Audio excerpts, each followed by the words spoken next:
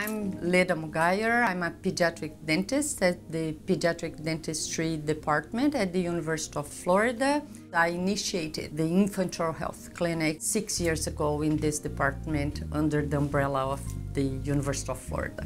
So the infant oral health we have from zero to three years old. Everything that I do, I like to have the students involved.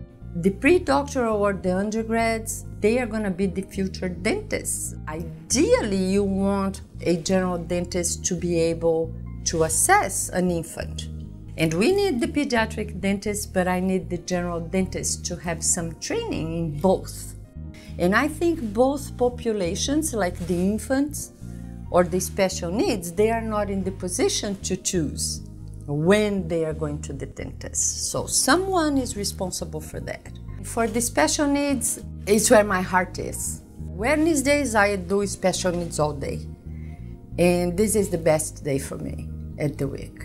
It's such a population that needs so much. And you have so not many people doing that. I think it's an opportunity again that I have to help or to do something using my training, my knowledge, and uh, more than anything, my compassion.